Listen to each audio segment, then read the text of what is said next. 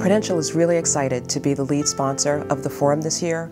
We're really excited to bring together a great group of diversity practitioners, HR professionals, and colleagues from all around the world to talk about diversity and inclusion and what it means in our evolving business, marketplace, community, and workplace. We're delighted to have this opportunity. It allowed us to, as an organization, um, get more deeply involved. We had individuals across the organization, from our public relations staff, um, human resources, and our business, really understand what the forum was about. It allows us and affords us the opportunity to be able to send a number of individuals to the forum, and for them, in order for them to learn about the trends in inclusion and diversity. In our company, everyone has a role to play.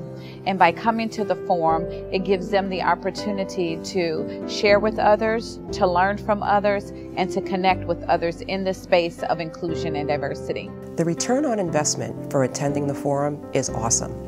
Basically what happens as a result of the forum is you have diversity practitioners at every level going back to their organizations with increased awareness and best practices and strategies to help drive D&I within their organizations. So anyone who attends the forum is guaranteed to walk away with great sound bites, great best practices that they can share with their organizations.